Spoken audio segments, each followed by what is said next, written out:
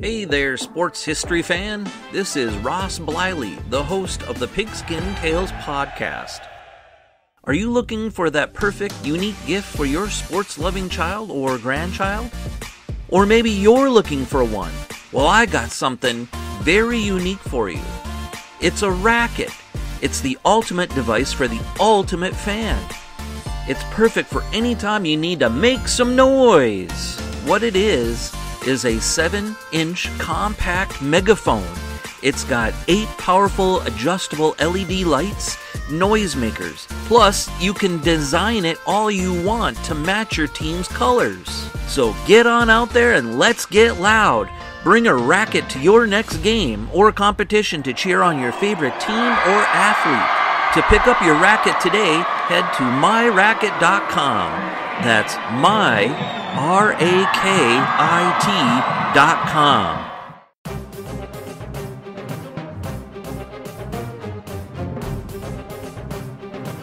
This podcast is part of the Sports History Network, your headquarters for the yesteryear of your favorite sport.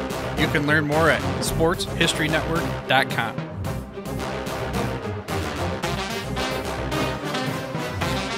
The Rose Bowl. The game that inspired the college football bowl season has a long and storied history. The stadium itself is 100 years old, and in celebration of it, Pigskin Dispatch is assembling some of the top historians and authors to share the memories, people, and events that make the granddaddy of them all the special game that it is. Enjoy this Rose Bowl memory from pigskindispatch.com.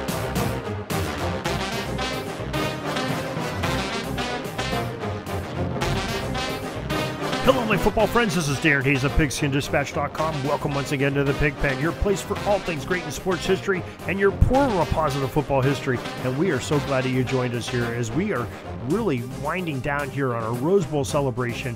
We've gone 30 some days of talking about the Rose Bowl each and every day, sometimes multiple days, trying to cover each of the aspects of the Rose Bowl, including the 108 games that have been played so far on the New Year's Day weekend or right around New Year's Day, as part of that Tournament of Roses uh, celebration. And uh, you know, we are really uh, excited to bring you another great episode here. We're going to talk about you know three more, or I'm sorry, four more uh, Rose Bowl games. The ones that took place from 2001 through 2004 are remembered in our collection of games in this podcast episode. But before we get to those, let's make sure that you are aware of our newsletter. It comes out each and every day. We'd love to have you be a part of what's going on in the Pigpen. Each day at 6:30 a.m., we send out to your email inbox totally free. You can cancel at any time, and uh, we tell you everything that's happening in the Pigpen. That includes Pigskin Dispatch, JerseyDispatch.com, Orville Mulligan Sports Trader, and many of the items that are happening on SportsHistoryNetwork.com as well. So, really easy to sign up. Go to the show notes of this very podcast or at the top of PigskinDispatch.com or JerseyDispatch.com. Now, the first uh, Rose Bowl that we want to talk about today is the 2001 Rose Bowl. It was the 87th Rose Bowl game played, and it matched the champions of the Big Ten, the Purdue Boilermakers, and the Pac 10 champion, the Washington Huskies. Game was played January 1st, 2001. The Boilermakers were 8 and 3 under head coach Joe Tiller, and the Washington Huskies, well, they were 10 and 1, having a great season under coach Rick Neuheisel.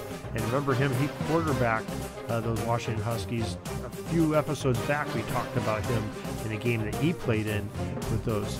Now, it ended up being uh, somewhat of a one-sided game. It was close for, for a little bit, but it ended up being a final of the Washington Huskies 34, Boilermakers 24.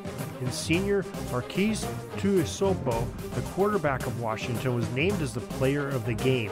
There's some kind of interesting facts that happened in this 2001 Rose Bowl. First of all, Coach Neuheisel became the only former Rose Bowl most valuable player to also win the Rose Bowl as a head coach. That's an important fact here. It took uh, almost 90 some uh, uh, Rose Bowls for that to happen. And also, Purdue starting Rose Bowl quarterback Drew Brees, he had a bad performance in this Rose Bowl, not up to the expectations that we would expect Drew Brees after watching him for, you know, through his collegiate career and in the NFL career. However, he and Bob Griese of Miami Dolphins fame, who is also a Purdue graduate, are the only two Boilermaker signal callers to ever start a Rose Bowl game at this point in time. And they, you know, even though Drew Brees might have lost that, he and Griese both won a Super Bowl game. So there's something that's uh, kind of interesting to look at from that 2001 game. Again, that final score was Washington 34, uh, Purdue 24. We go on to the next year, the 88th Rose Bowl game. It matched the number two in the nation, Nebraska Cornhuskers, against the number one ranked Miami Hurricanes. It was the BCS National Championship game that was held at the Rose Bowl. And this, this game was played on January 3rd, 2002. Now, this looked like it was going to be a great game. Everything pointed towards it. The Hurricanes were 11 0 under head coach Larry Coker. Nebraska Cornhuskers, they had their great coach of Frank Solich. They were 11 and 1, and it were, you know looked like it was going to be a tremendous game. Well, it ended up being a little bit one-sided on this game too, as the Hurricanes won 37 to 14 over Nebraska. Ken Dorsey, the quarterback of Miami, and his Hurricane teammate, wide receiver Andre Johnson, were named as the players of the game as they had a tremendous game uh, hooking up for multiple plays that uh, really made a difference and blew this game wide open. Some important uh, historic facts from the 2002 Rose Bowl. The Miami was the unanimous number one team, and Oregon ended up being number two as they won in their bowl game, which I believe was the Sugar Bowl that year. Also, this is the first Rose Bowl game not played on January 1st or January 2nd. Uh, remember, every game was played January 1st, except when January 1st fell on a Sunday, they moved to January 2nd. Well, in this case, the first time not played on played on January 3rd. So just a little bit of a fun fact there for you as well. Well, that moves us into the next year, the 89th Rose Bowl game, played on January 1st, 2003. It featured a matchup of the Oklahoma Sooners and the Washington State Cougars. The Sooners were 11 and 2 under coach Bob Stoops. And the Washington State Cougars, well, they were 10 and 2 under head coach Mike Price. Now, this was not a high profile game as far as ranked teams uh, playing for the national championship. The Rose Bowl wasn't involved in that at this time. That's why you had two two loss teams playing against each other. Doesn't mean you're not going to have a, a good game. Unfortunately, it was a little bit one sided too, as Oklahoma won this game 34 to 14 over Washington State. And Oklahoma quarterback Nate Hybl was selected as the player of the game. Now, some great uh, facts that came from this uh, 2003 Rose Bowl said with a paid attendance was only 86,848. It was one of the smallest Rose Bowl crowds in modern history. It was sort of one of those ho hum games because all the big games in the BCS and some of the other top uh, things you know happening on New Year's Day, those were the ones people wanted to watch. The BCS game was later on, like a week or two later, and uh, people really weren't paying attention to that late game on New Year's Day, except for if you were Washington State or an Oklahoma fan. Also, the Sooners were so dominant in this game, they dominated the time of possession. They held the ball for 37 minutes and 14 seconds to 22 minutes and 46 seconds of that of Nebraska. Quite an advantage. Made a big difference on the scoreboard. 20 point win for the Sooners. We move on to the next year, the 90th Rose Bowl game, played January 1st, 2004, and it featured a matchup of the BCS number four ranked Michigan Wolverines and the number three USC Trojans. Okay, now we're getting into some things. These, this has got some uh, charisma to it, having these two top five ranked teams, top four ranked teams actually. Uh, this is uh, basically a battle for third place. And the Michigan Wolverines were 10 and 2 under head coach Lloyd Carr, and USC Trojans were under head coach Pete Carroll.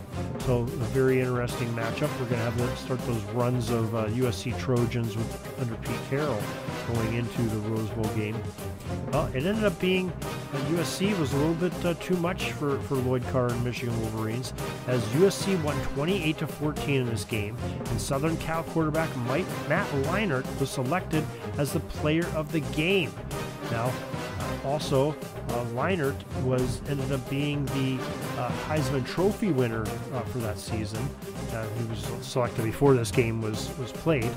And some great uh, 2004 Rose Bowl historic facts. The Trojans wore a number 54 sticker to commemorate Drean Rucker, an incoming freshman linebacker who drowned in July of 2003. So they did that to honor their fallen teammate. And USC and LSU shared the national championship title. Uh, it was the only split title in the BCS era. So another interesting fact there. And that is your, uh, your Rose Bowl history as we've covered 2001 through 2004's Rose Bowls. Uh, kind of a lot of one sided affairs here. Not really good games, but some really good teams, some really good players, and uh, some really uh, fantastic history here on the Rose Bowl. And we hope you're joining us for all this great history. If you've missed any, make sure you go back and you can look find us at pigskindispatch.com. Type into our search box Rose Bowl and uh, you know, pay attention there, or go to your favorite podcast provider under Pigskin Dispatch. You'll find all these great, Rose Bowl games. We're doing them chronologically in order, so you should be able to find them there. Also, SportsHistoryNetwork.com has our podcast on it as well, and uh, you know we'd uh, love to have you there. And you can also find us at RadioTroy.com. Uh, thank uh, Troy Darengowski for putting all of our Sports History Network podcasts on there. So special shout out to him and the rest of the gang there in Indiana. So till tomorrow, everybody.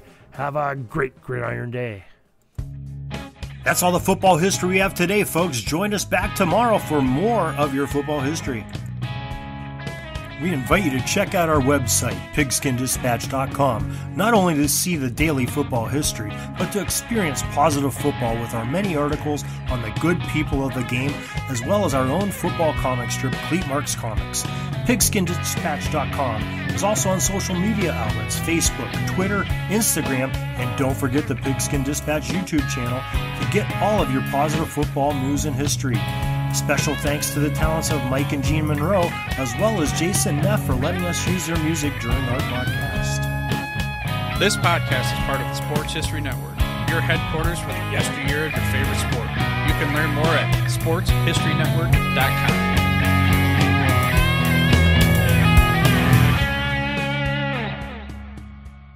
Hey there, sports history fan.